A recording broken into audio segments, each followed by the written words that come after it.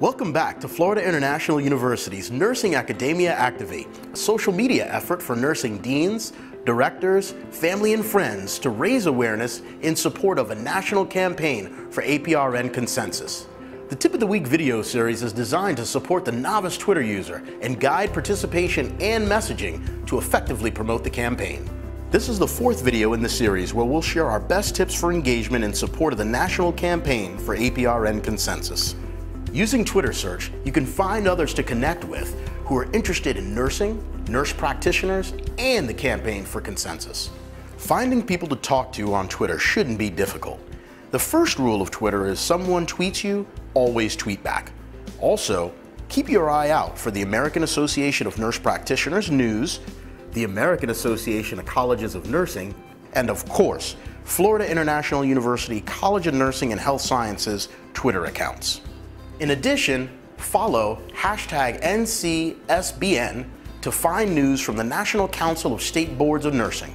From your own account, you can create a group list of other Twitter users by topic or interest. For example, nursing publications on Twitter would be a great list to create. Twitter lists also contain a timeline of tweets from a specific user that were added to the list. This allows you a way to follow individual accounts as a group on Twitter. Now that you're ready to dive into the conversation, Reply to an interesting post or retweet something. Add your own commentary to make it relevant. Always make sure to give credit where credit is due. Treat each retweet, mention, favorite, and direct message with the attention and respect you would give those interactions in person. Check out our Twitter cheat sheet for sample tweets. Feel free to use them or personalize them and tag others when you tweet. Grab their attention, enroll them into the conversation. But remember to keep it short and sweet tweets that are less than 100 characters get 17% more engagement. Sometimes the best way to get a retweet is to simply ask for it. Another way to improve engagement is by using hashtags. When you click on a hashtag, you'll see other tweets containing the same keyword or topic, and this provides a great opportunity to skillfully intrude in relevant conversations.